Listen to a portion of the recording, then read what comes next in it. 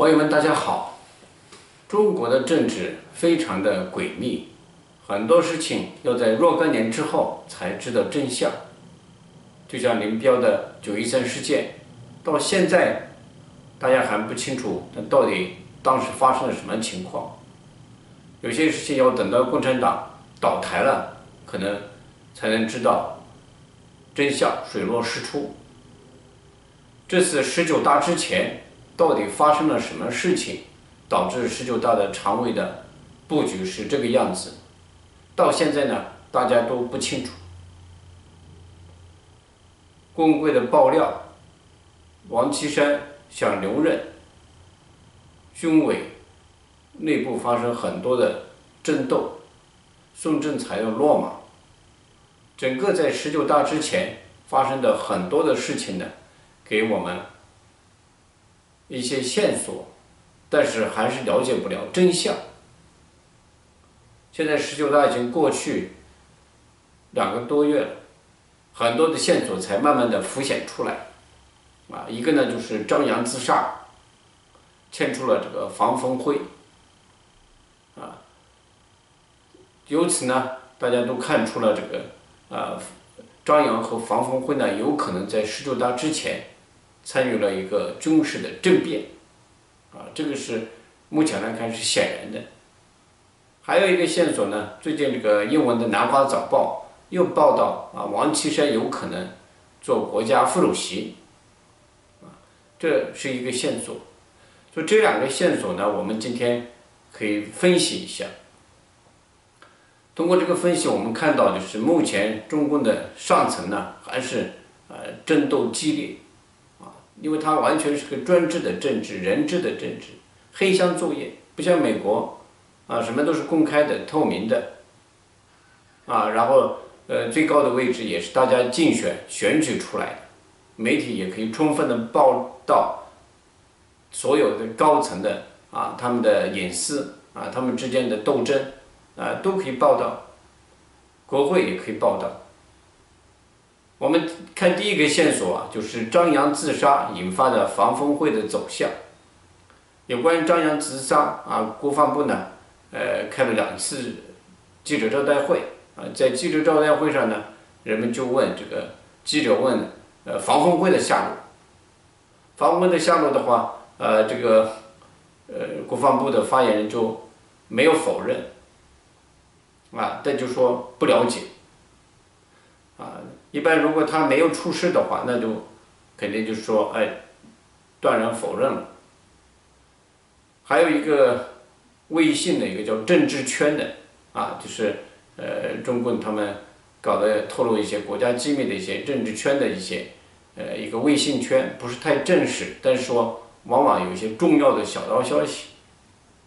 这个有关张扬自杀的里面特别强调了张扬和房峰辉。是老搭档啊，在广州军区的时候是老搭档啊，一个是总参总参谋长，一个是呃总这个呃总政啊，呃，所以说这个是非常这个呃有意思，而且到这个中央的时候，两个人也是老搭档，所以这种老搭档的话呢，实际上呃让人联想的啊，许才厚和郭伯雄就是老搭档啊，两个人出事呢，就可能是同时出事的。那房峰辉这个人呢，呃，到底呢，现在在什么地方？啊，目前来看肯定被抓起来了。他有可能，是不是也会比自杀？啊，也完全有这种可能性啊。一个是张扬呢，本身就，呃，处于一种被自杀啊。新闻联播报道的时候，呃，前面还漏嘴了，说了一个经中央批准，啊，张扬怎么怎么自杀了。当然，这个是他是漏嘴的话，但是实际上我们知道，在一个严厉监管下的一个啊高级将领啊啊突然自杀，这里面非常的呃蹊跷。这个背后呢，呃有军纪委的作用，而能指挥动军军纪委的啊目前只有两个人，啊一个呢就是中纪委以前的中纪委的书记啊就是王岐山啊，还有这个呃就是习近平。那现任的中纪委书记赵乐际呢？我想呢，他不会，他也没有这个胆量啊，让这个张扬必自杀，啊，他现在还刚上台，他不敢有大的一个动作出现，啊，所以我们看到的是张扬被自杀里面呢，呃，暗藏了很大的一个玄机啊，就是说他做了一件很重大的事情，这个重大的事情呢，以至于他非死不可，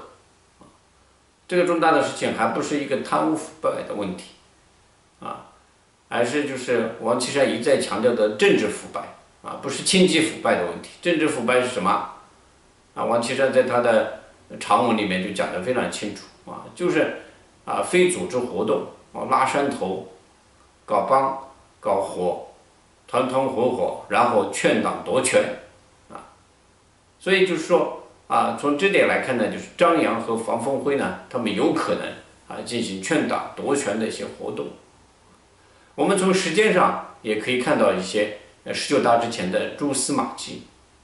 呃，关于房峰辉，房峰辉呢是在二零一七年四月份，他是陪着啊习近平到美国来进行川西会，那个时候他如日中天呢，啊权倾天下，起码在这个 军队里面，啊习近平对他也非常信任，然后十九大马上来临呢，在七月十四号，孙政才落马。这个时候就局势发生了很大的变化。孙政才一落马，所有团派的啊，胡锦涛、温家宝指定的那些呃继承人呢，啊，都是浑身哆嗦了，啊，都呢感觉到自己的末日来临了。然后紧接着呢，就是七月二十六号京西宾馆会议。这个会议呢是非常的重要，但是对外界呢什么消息都没有透露，啊。只有这个台湾的上报有一个报道说，这个呃里面透露了四个呃不惜代价啊，就是不惜代价保护处在风口浪尖上的老同志们，啊不惜代价来抵御呃海外对这个十九大的破坏啊，啊实际上这个是为王岐山呃背书的啊，但到底有没有说四个不惜代价，那是成问题的。但这个京西宾馆的会议呢是非常的这个重要啊，那些军人呢。呃，李元朝啊，政治局常委们都参加了，啊，然后呢，就是这个啊，七月三十号，啊，习近平就到朱日和训练基地啊去，呃，参加这个军事演习，啊，这八一的这个大演习，呃，当时参加的主要是军委副主席范长龙，啊，和这个陆陆军司令呢，呃，韩卫国。啊，没有出现房峰辉啊和张扬的名字啊，非常奇怪，啊，然后呢，呃，八月一号，啊，习近平又再一次的强调了军队要服从党的绝对的领导，啊，然后训练完之后，他啊就去了北戴河，就是北戴河会议呢是，至少现在看来是从八月二号到十五号之间在北戴河召开的，在北戴河会议期间呢。啊，啊，他们就进行啊最重要的人事的安排。所以中国的大事呢，啊，不是在这些真正的重要的人民授权的会议上开始的，而是他们暗箱操作、私底下搞的。啊，不像美国，那我们决定这个，呃，啊总总统，那我们人民投票选举总统，然后决定各个部的部长，那我们啊进行广泛的政绩意见，一个不行两个，啊。然后媒体发现他有错误，国会发现他的错误，那可以啊把他马上给删掉啊，他也可以到国会来进行听证。首先是总统提名，然后国会对他进行质询啊，质询完了之后才能就任，非常公开。但是在中国呢，这些重要人士的任免都在这个暗箱操作之中，所以北戴河会议就八月二号到十五号之间的北戴河会议呢，啊，就把十九大的人选基本上定下来了。从目前来看呢，这个北戴河会议呢，有关军委方面呢，啊，做出了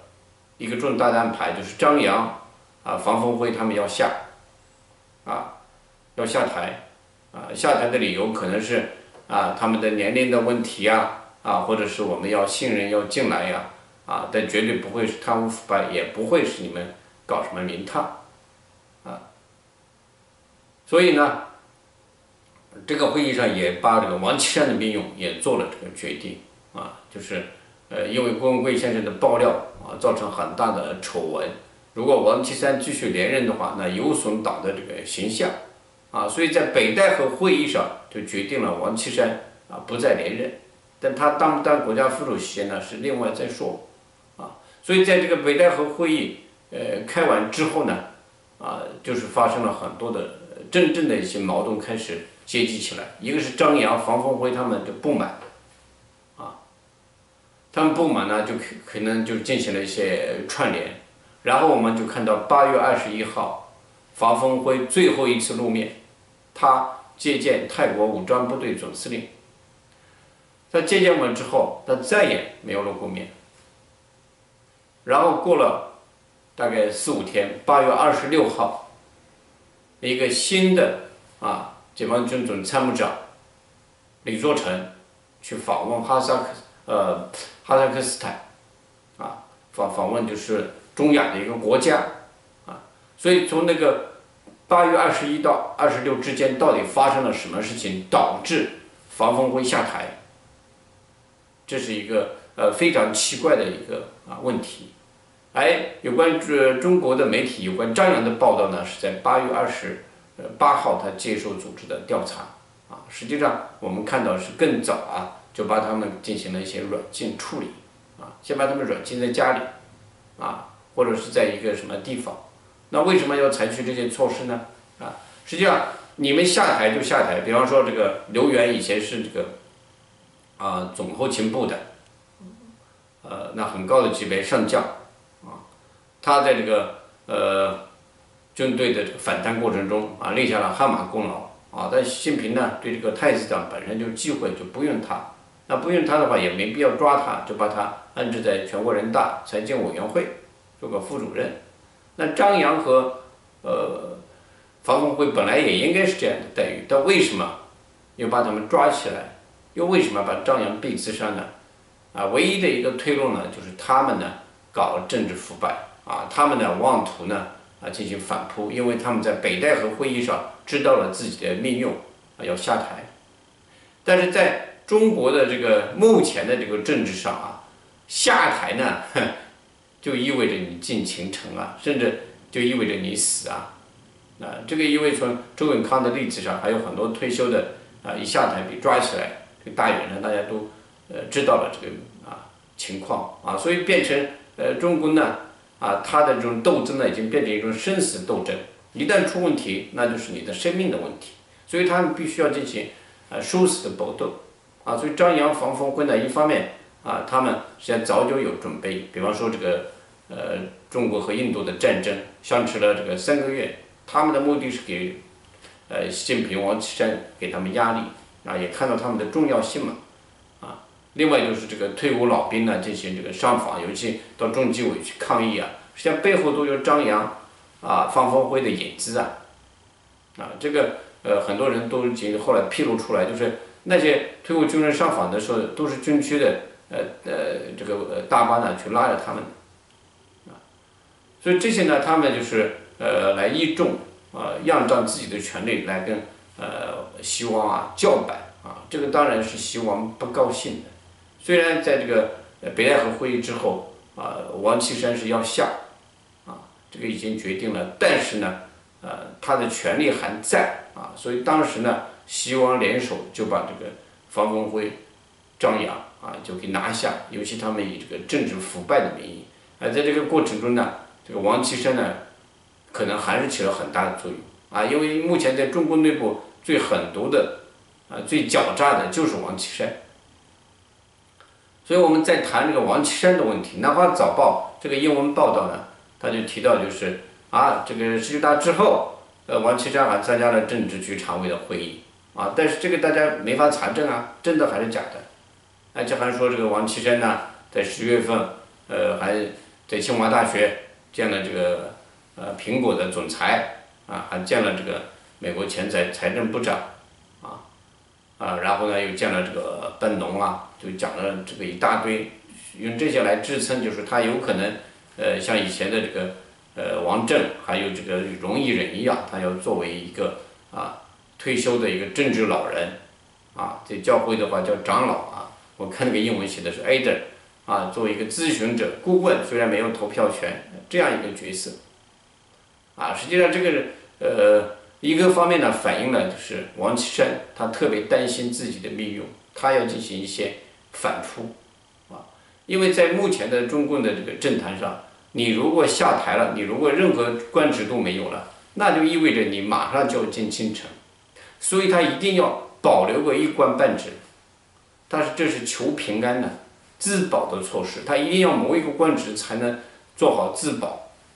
如果他不谋得这个官职呢，那他很快就会抓起来。所以他这个这个文章呢，《南华早报》很有背景的，被马云收购了，而且呢，《南华早报》都发出一些呃跟习近平啊、习家军不太系和谐的一些声音，像前段时间雷战书的女儿女婿的这个腐败问题，就是《南华早报》给揭示出来，后来那个编辑也给。撤职了啊，但实际上他完成了使命了，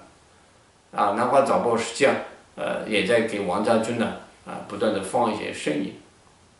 那我的判断呢啊，那这个王岐山做国家副主席那门儿都没有啊，因为习近平的这个个性呢，他是容不得任何人超过他的啊，功高震主，尤其对太子党他是最烦的啊，刘源、刘亚洲啊，军队的很多的一些呃红二代全都给铲除。